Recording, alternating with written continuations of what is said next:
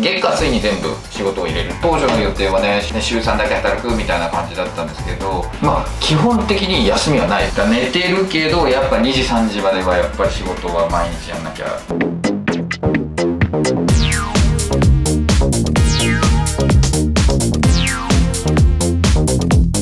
はい始めましたもちチャンネルです今回はですねはいもう一つの1週間ってどんな感じなの？っていうねことについて話していきたいかなと思います。まあねよくね超多忙ですよねとか寝てるんですかとかって言われるんですけどうん多忙は間違いないですね。寝てるかどうかと言われればまあ寝てる日もあるしあまり寝れない日もあるかなっていう感じです。8時間ぐらいね寝なきゃいけない人間なんですけど最近8時間寝れてないですね。じゃあどんな感じなのか。まあもちろんね週によってバラバラなんですけどかなりね、えーどんな感じなのかっていうのをちょっとね見ていきたいと思うんですがまあこれはね私こボロボロのこのキャンパス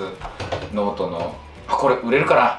これを宣伝したら、はい、これにねいつも書き込んでるんですけどどういう感じになるかっていうと見せられないかな。あんまり書いてない。あ11月とかあんまりまだ何も書いてないですけどこんな感じのやつです、はい、まあ TOEIC は全部書いてあるんですがこの9月のね予定。まあ今週はすごい大変。 TOEIC あって名古屋に受験しに行ったわけですよ。でそこから戻ってきてでまあこの間もね新幹線で移動中とか動画編集をかなりやってる。で13時から14時で都内某スタジオに行って収録しました。でその後にコラボがあったんでコラボ撮影に15時からコラボ撮影なんでそこに向かいましたね。でコラボ撮影してでそのまま河合塾の授業に行きました。で家戻ってきたら動画編集してまた1本編集してで次の日の武田塾の問題ですね。そう武田塾って私問題公表するじゃないですか。だから問題解かなきゃいけないんで解いたのが4つか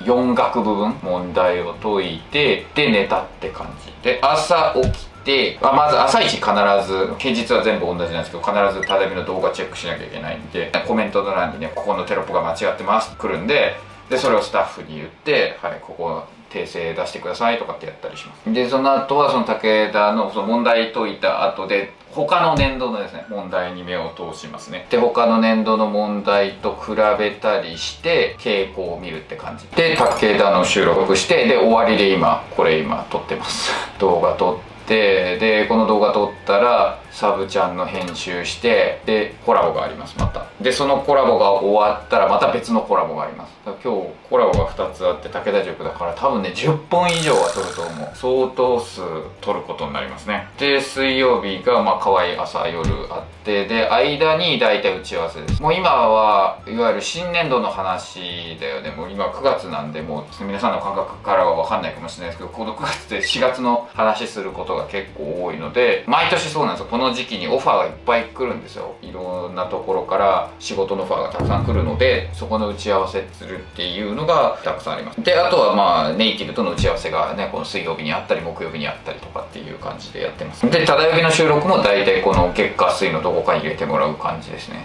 今週忙しくて全く撮れてないですけど。そうだからちょっとねここ忙しすぎるんでだ普通ただ呼びの動画もあれもさまあ大体2日前ぐらいにね完成することが多いんですけど今週はもう忙しいからそんなことやる時間がないっていうのを知ってたからもう先週の金曜の時点かなに全部終わらして出しました。こんなのね今まで一度もなかった。まあまあまあ編集マンの人たち早くできて英語が分かる人が多くなったから早くできるようになったんですけどね。当初の予定でその月火水に全部仕事を入れるっていう感じでした。で河合と武田と忠指をもう月火水のどこかに全部こう埋めてまあまあ河合は動かせないですけど武田塾とか忠指は収録なんで動かすことはいろいろできるのでここで3日でやってで4日はだから何も仕事が何も仕事がないっていうか4日間は何かしらねメディアの仕事があったりとかそういうのがあったらやれるように動けるようにっていうふうにしたんですけど結局ねコロナで何にもメディアの仕事がなくなったからだからほとんどは動画編集してるっていう感じになってますね。まあ月火水もね忙しくても動画編集はしてるんですけどただやっぱサブちゃんがほらね出せないのが大体月曜だって気づいてました。それやっぱ夜教えてるからなんだけどサブチャンネルってもう当日に撮ってるのがほとんどなんで。でメインチャンネルも前日か当日に編集してるのがほとんどなんですよ。だから研修マンで雇っって全部やってもらえばいいじゃないですかって言うんですけどそう前日とか当日にやってることが多いから編集マンに回せないんですよね。前日撮った動画を明日までに仕上げてくださいとかってできないわけですよ。でそういった点でその回せないっていう状況になってますね。木金土日。まあどこにねあのああかりの指導とか滝野さんの指導が入ってくるか分かんないので結構ギリギリまで分かんないんで今週なんかまだ決まってないんじゃないかな。一応開けといて柔軟にしとかなきゃいけないんですよ。どこに自分がいてもその指導ができるようにしとかなきゃいけないんでだからホワイトボードをね買ったりとかしたじゃないですか。だからどこに自分がいてもなるべくそのズーム指導にパッと対応できるようにしてますね今は。で18が打ち合わせが2つありますね。はい。大変なんですよ。2つあって間にそう絶対韓国語のねオンラインで受けるのが入るのでそこはやる感じで。で19もまたコラボ撮影が入ってますね。こんな感じでやっぱねコラボ撮影がすごく多くなる。で日曜日は資格試験を受けることが多いですね。英検だったりとか TOEIC だったりとかああいうのが入ってることが多いので基本は空けてもらってますね。まあだからこれが一応今週はこんな感じですけどこれ以外に入ってる書いてはいないけど入ってる仕事っていうのは本の校正ですね。今週中に終わらせなきゃいけないのが1冊あります。これも絶対やんなきゃいけないからその木曜日ああ全然ないじゃんって思ってるかもしれないですけどこの木曜日はもう校正にすごい時間を当てなきゃいけないですね。でプラスねその日の動画撮って動画編集してっていうのもあると思いますね。まあとにかく編集してる時間がない。あとはそっか早稲田合格塾のね2学期のね講座作んなきゃいけなかったりとか。まあ基本的に休みはないです1日も。とか YouTube 始めてから全くただの1日も休んでないので。だ2019年の1月1日からは仕事がない日は1日もないです。それは、うんまあ、ずっと変わんないかなって思う。動画編集を誰かしらに頼むっていうことをしない限りはずっとないかなと思いますね。ただまあサブチャンネルもあるしあとはメンバー限定動画もあるんで動画自体は前よりもたくさん作ってる状況なんでこういう感じになってるであとかは打ち合わせが結構多いですね。いろんなところのいろんな打ち合わせがある。でさらにはセミナーがあるんで今はそうですね Zoom でやるセミナーが多いんで Zoom を通して TOEIC のセミナーやったりとかあとはそう高校派遣が全部中止になったからその分動画で出しますみたいなのもあるんでそこの撮影をしたりとかあと大学の授業も撮影しなきゃいけないんでそう撮影時間が多分これからだいぶたくさん増えてくるなっていう印象ですね。だそれでもやっぱり編集がほとんどですね。一番何に時間をかけてるかっていうと編集してる時間。やっぱ2時間から2時間半ぐらいはね普通編集するんで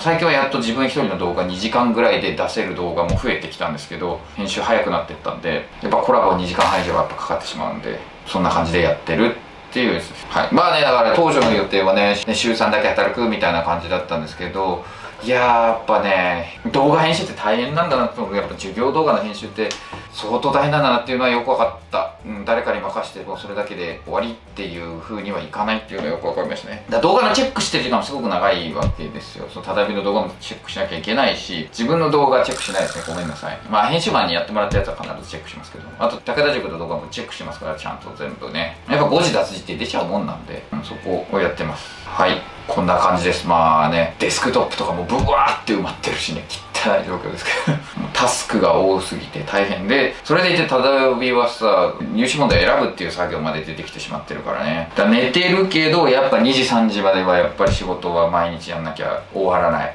終わらないというか終わってないんだけどそれでも。そうやってやっていかないとちょっともう無理だなっていう感じです。はい。感じでやってますのでぜひ応援してください。なんとかね来年はちょっとやっぱこの忙しさみたいなのはできないんでなんとかそこは考えないといけないと思っています。はいこれ動画が良かったら高評価チャンネル登録よろしくお願いします。はいご視聴ありがとうございました。Thank you for watching